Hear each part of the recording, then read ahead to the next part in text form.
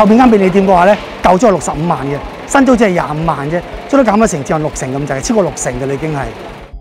我成日都講一句，即係中國好出名嘅言語，就係話真係叫罕則之舟，或者好似股股神巴菲特話齋係咪？人恐懼嘅時候嚟講咧，我貪婪；人貪婪嘅時候我就恐懼，一樣道理。今日全世界最恐懼，全世界都唔敢買嘢，全世界都唔敢消費。咁呢個時候嚟講咧，啲嘢可能係最平，亦都可能係入市嘅良機。因為點解咧？我成日相信一樣嘢，鋪位嚟講喺中長線咧，一定係好嘅。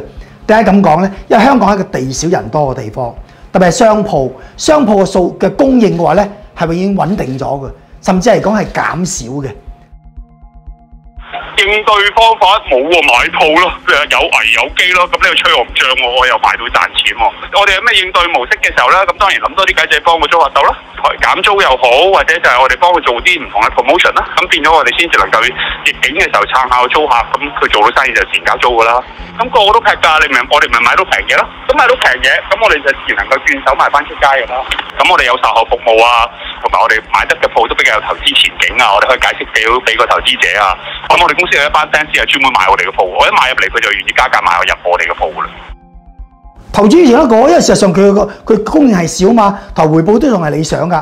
同埋始終你你揾鋪收租嘅話咧，係相對上比較容易啲嘅。所以我覺得但但係你話好似以前咁樣，喂，我買個鋪翻嚟幾十萬，哇，今日自己億買出去就唔會嘅你已經。